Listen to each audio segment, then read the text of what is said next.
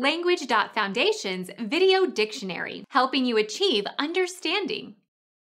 The cardinal number that is the sum of 10 and 1. 11 11 The 14th letter of the Greek alphabet. Being one more than 10. 11 11 Become our student and get access to effective and free educational materials. Subscribe to our channel to become a part of our growing community and to learn English effectively.